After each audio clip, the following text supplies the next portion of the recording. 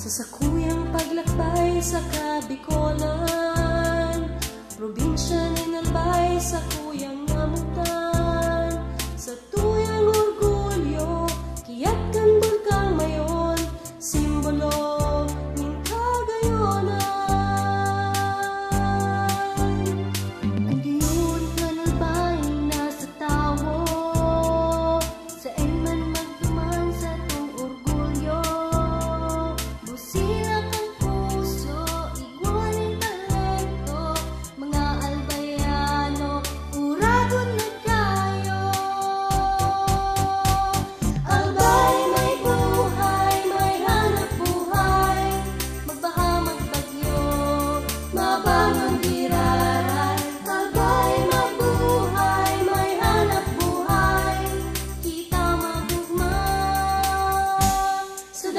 lámpara.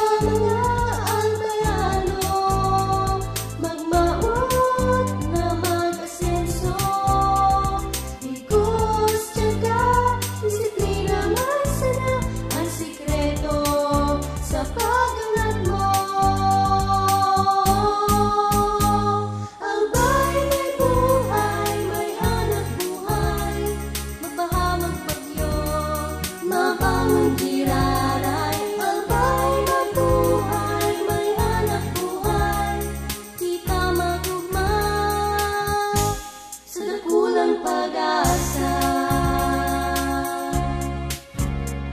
Di